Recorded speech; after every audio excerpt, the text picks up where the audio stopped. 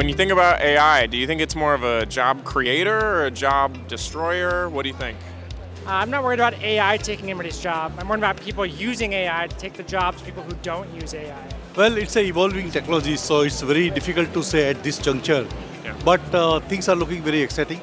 From my perspective, I think it's definitely a creator. It will create more opportunities, jobs, yeah. It's a job creator because as we deep dive more and more, we have a lot of options wherein we can improve the efficiency of the system, but at the same time, we are creating jobs for the other persons as well. It's just about uh, brushing up your skills and then you are there. I think it's both. I think it's creating a lot of jobs, uh, specifically right now in the research space as it's kind of growing and we're learning what it could potentially be.